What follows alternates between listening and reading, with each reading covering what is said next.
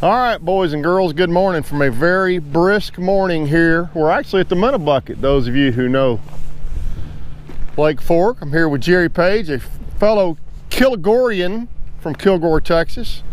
And we're gonna get out today in his Falcon F215. Now this is a 2019 model, so there's a couple of changes to it. You said that you think the seats have changed? Seats are different for sure, I know. I'm not sure what else is different. I know y'all can't hear him very well because I'm wearing a mic, but he said he knows the seats are different. But so this is a 21 inch, 21 foot, five inch. But I think generally I just wanted a sense of the boat. It's a pretty boat. So you see, I'm sure there are trailer steps available on the boat. I cannot see. So it's torsion axle system, no shocks, nice tandem.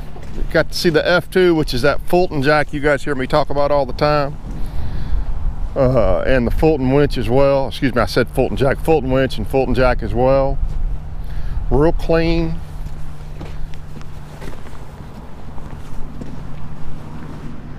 It looks like Jerry cleans it when he puts it up.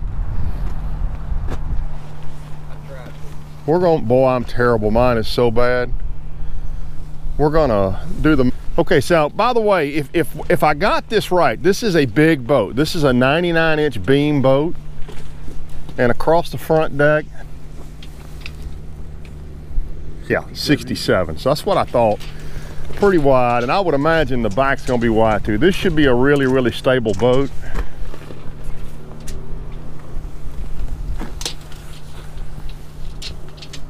Eighty-one inches. 81 inches across the back. And you know what?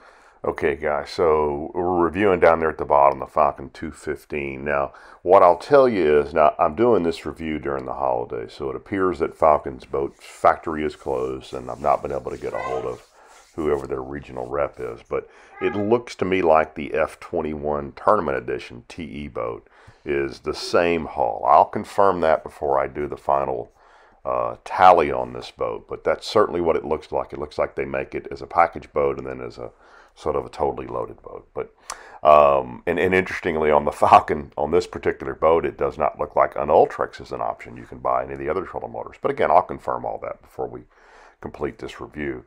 But but what I will point out here is it is the widest beam of any boat we've looked at at 99 inches.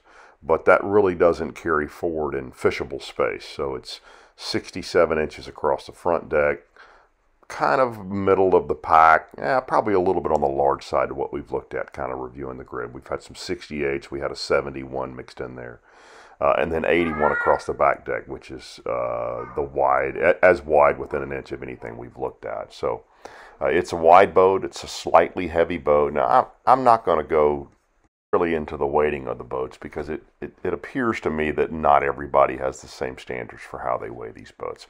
If I did this full time, I would love to go down to the to the pulpwood mill and start weighing these boats, but um, I'm not going to be able to do that. So this boat appears to be a little bit heavier, not nearly as heavy as the Skeeter, but for 21.5, heavier than the Rangers for sure, and several of the other ones. So, and you're going to see the the weight and the uh, and the, the 99 inch beam is going to have a pretty significant impact on the speed of the boat. So we'll get to that a little later in this video. And you know, while we're here without the possibility of me falling out, you guys have heard me talk. I really, really liked originally the Bass Cat removable back lid. And then we got in, what was that boat? The Skeeter who had the split back lid. And Falcon's done something which is maybe even cooler. Show us that back lid, Jerry. You can open up this side, cranking batteries over here. So there's your cranking battery. Or you can open this one to get to the trolling batteries. Trolling batteries are there. And then there's a center one. And then this piece folds up. Boy, there's, that is clean, isn't it? Now, one of the things I noticed, now he's got his seat in here, but what Falcon shows you is, if you remember what I liked in that other boat, you could fold that up and basically make a culling station there where nobody's getting out of the boat that you're not ready to be out of the boat. You can take these six screws out of this plate and all your pumps is right under this. So you heard Jerry say that you just pull those six screws and you got access to your pump. Now that's something I like. So I just had to tighten the motor, uh, the motor uh, bolts on my boat. And you can see those are really, really easy to get to and to get a wrench on. That's super handy. That's a well laid out. It's got a nice LED light right there so it lights up real good. And boy, it is just super clean. Super clean. That's pretty cool. I really like this back deck lid. That's cool. You can work on it whether you're in the boat, on the water, or even if you got it in a boat stall. You can just get to it real easy. All right, so there's a reason you keep a toboggan hat in your golf bag in the back of your truck. because then you forget your toboggan hat in the boat. You got a fancy toboggan hat with a ball on top to wear. So I just made the first pass in the Falcon. Boy, it bounced out of the hole. Now, in fairness, I'm a little more than half a tank. I'm gonna say I'm about 55, 60% full of fuel and the live wells were empty. But back into a pretty good wind right there. I ran it 72-1. So I, I'm filling the live wells up right now and uh, we're going to do a hole shot on it. Let me turn that back camera back on. You know, it's funny, I hadn't been on fork in a long, long time, but it brings back so many memories from the early 90s when we spent a lot of time down here trying to catch a big one. This is where we came. Now, one thing I've noted is this console is pretty far back. It's You got to kind of slide up under it. I like once I'm up under it how it feels, but now again, this is a 19. They may have moved that. So all I'm telling you is if you're six foot six before you buy this boat, you need to climb up in it and make sure you're comfortable getting in and out of that spot right there. And that, that could have changed, but I can just observe what I've got. And there's not a ton of falcons around, so let's do a hole shot when the live well's full. Let's see what we do. Get off of this hump. Get back out deep water.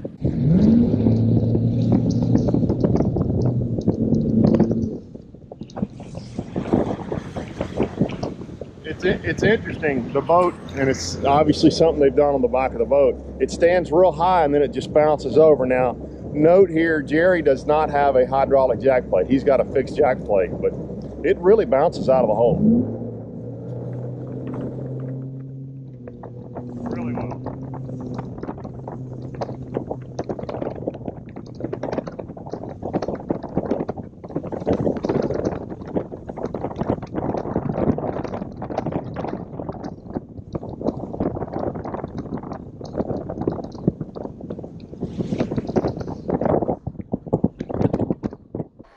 All right, guys, so this is me just really making the boat crawl. And what you see here is it'll, it'll do it down into the 20s. There's a tiny bit of porpoising going on. You can see from the wake bouncing out on the right there. But overall, super steady, way down into the low 20 mile an hour range, certainly 24, 25 mile an hour range. Uh, I, I, would expect this to be a pretty good performing boat for a, a 21 foot 5 inch boat in rough water, at least from a nose control standpoint. I, you know, it's hard to say how much side splash you're going to get out of a boat, but uh, from a nose control standpoint, it's slow speed, uh, pretty impressive. It, it's uh, as good as most we've looked at. A couple better, but as good as most that we've looked at. I've never seen one of these, but that's pretty smart. It's got basically every kind of kill switch attachment to it. It's a little cumbersome because you got to look for the mercury one, but for doing what I'm doing, which is in and out of a lot of boats, that could be pretty handy. Okay, so just kind of looking the boat over. Uh, I know in the new ones you can put a 12 inch flush mount in the dash. I love the flat spot. You know, we've talked about that. If you want to put that other graph up there, you've got a flat spot. They uh, so there's a good, there's a pretty good video on uh, the Falcon website audio challenges, so I'll just dub this guy. So, good video on their website talking about uh, the founders and how they came up with the idea to make the boat, but also with some of the things, and it's similar to Phoenix. Uh, instead of putting fancy stuff in the boat, putting stuff in the boat that's going to work, not break. And for example, there you see they have toggle switches on their dash. And I talked through this period right here. So this is an actual shot. I didn't get a good video, so I thought this is a shot from their website of the control panel, and you see it's the old style rocker switches. And what I like about it is, as opposed to you know, like it's not as aesthetically pleasing, for example, as my Ranger uh, push button dash, but it's also not 190 bucks. If one of those rocker switches go out, I, I think you can buy one for under 20 bucks. So it's similar to what Phoenix has done, where they're taking stuff that, although maybe not as, as, as aesthetically pleasing, uh, it's just simpler and it's easier fixes and it's just stuff that you don't have to carry it back to your dealer to get fixed and spend hundreds of dollars. Now, Jerry pointed out some things to me, and this was one of them, for example. This is their ice chest. And what he pointed out to me, as opposed to putting a raised lid on their ice chest, they just put that little piece of gasket, gasketing around the ice chest. And what he said is, you get out in the summer, you get in a, in a hot rain shower, you know, 80, 70, 80, 90 degree rain, it runs in your ice chest. And he said, although it will hold two full bags of ice, it's a big ice chest. You know, nothing worse to, for an ice chest than putting hot water on top of your ice. So I just feel like that's something somebody really didn't think through. Which you know, I mean, it's a you know they've been building boats for just a few years, uh, and some of the things they're probably going to need to fix. I suspect you know they've got a big pro staff. Uh, surely they'll listen to those guys and they'll start fixing some of these problems. Because if Jerry's having the problem, and if I'm seeing the problem, then it's a you know it's something they need to get on and fix. And you're going to see. Well, here's another example. This is the passenger day box which is right below the, the port side rod box. And it's obvious there's no lip built up on it. It's actually almost set up to have water drain into that box. You're going to see later in this video. Now, maybe they fixed this on the new models, but, uh, and, and by the way, this is from their current website, this particular picture, so it's obviously still an issue. But the bottom of the seat flips up and there's nothing under it. So it just felt, and, and guys, I didn't set out on any of this to bash anybody's boat. I'm looking for my boat, but as I've done this, I've seen things and learned things of what I do and what I don't want in a boat. And and water in the boxes is one of the last things I want in a boat. And it just seems like a few of these things are still kind of works in progress on this boat. I like the idea of the boat. They're making a very pretty boat, but I felt like as I went through this boat, there's a number of things they still need to work through, uh, and this is one of those things. And you know, guys know my feeling on that. I I would I would rather have a toggle switch set up like what they've got here uh, than the push pads that you see in a lot of the boats. Just simpler. One of those toggle switches goes out, I mean, I don't think those cost more than fifteen or twenty dollars versus the you know the push panel in my Ranger's three hundred dollars, I think, or yeah, I think it's three hundred dollars if you're not in warranty. So um, I like the simplicity of it. It's well laid out. It's easy to get to. I've got my cleat right there, my driver's cleat right there. Now, in this particular boat, the plugs down there are cigarette lighters, but you see Jerry's got an adapter in here. I believe uh, in this boat that uh, the new ones have actual USB plugs in them. So he's gone with analog da- uh, gauges. I really like them. Simple, easy to read. Um, it's interesting. I told you I felt a little tight in the cockpit here, but then I like the height of the of this, so uh, it throws the wind over you really nicely. Um, it it feels snug in the cockpit, probably the snuggest I've felt. And again, this is a 19, so maybe in the 20 and the 21s they've moved these around some. I don't know. guys, feel free to comment on that if you know. I like the boat. I, wanted to say it had a little side slop coming across there, but as I'm looking, I basically had a one and a half foot sea kind of pushing me side to side. So I can't really say that was side slop. That's just sloppy seas coming across there. I let the live wells run empty, not flipping the deal. All right, they're full.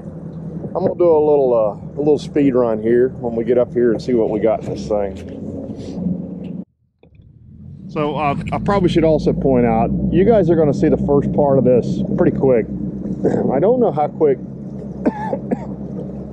excuse me, I don't know how quick you'll see the second part of this. And reason for that is, um, as I pointed out with a couple of the other smaller boat makers, uh, you know, uh, Blazer, for example, uh, their websites aren't as robust as other websites. It's a very static website you know, there's just pages and there's there's not lots of option pages. Phoenix the same thing, uh, which Phoenix is a big boat maker. They need to spend some money on that, but it's really uh, almost impossible to see the options. I've not yet found the Falcon rep in the area, so I'll probably try to track him or her down. But for example, it's carpeted floor. I don't know if they've got a SeaDek option in there.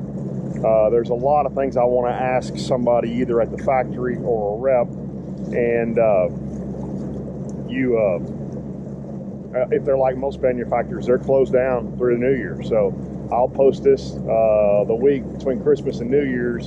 So I may not have all those answers. So if that's the case, I may be 10 days before I get up part two of this, but I will get part two up once I have the answers for those questions, guys.